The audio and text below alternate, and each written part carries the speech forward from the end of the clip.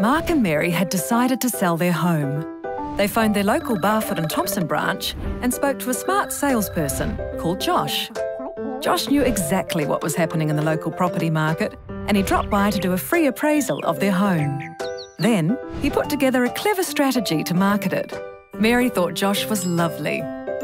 Under Josh's expert guidance, Mark and Mary's house was advertised in a wide variety of channels, from property magazines to online and social media.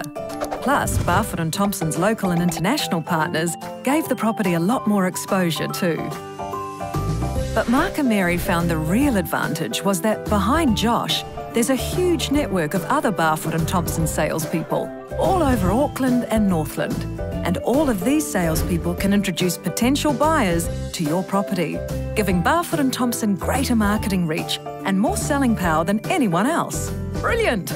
So you can see why Barfoot and Thompson is Auckland's leading real estate company and still run by the Barfoot and Thompson families after all this time. But back to Mark and Mary.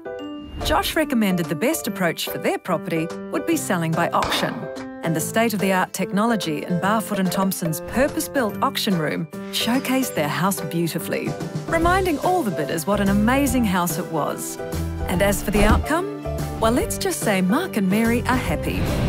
Very happy indeed.